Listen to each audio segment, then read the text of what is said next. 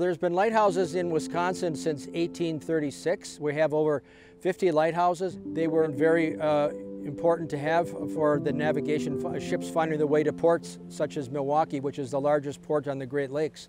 So these uh, ships needed to find their way in, both for bringing in uh, not only commerce, but also for bringing in uh, passengers. There are a lot of rivers and bays here uh, along Lake Michigan, not only along this side of the lake, but also in Door County. So it was very important for ships coming from the ocean uh, all the way down through the St. Lawrence Seaways and the Great Lakes to navigate their way all the way down to Milwaukee. The light beam in a lighthouse has to be seen from at least 20 miles out into the lake. 20 miles is where your horizon line is or your curvature of the earth. All individual lighthouses that go down the coast, they all overlap, so you never lose sight of a lighthouse as you come down the lake.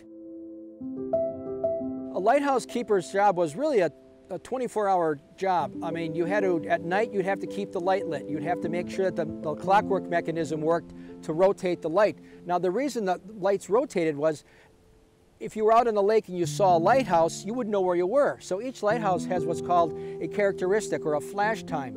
North Point Lighthouse flashed every 30 seconds. The mariners knew that on their charts. They could time it. That's how they knew where they were. The light in the lighthouse is a Fresnel lens, and uh, it was originally lit with whale oil, then converted to mineral oil, coal gas, and finally electricity.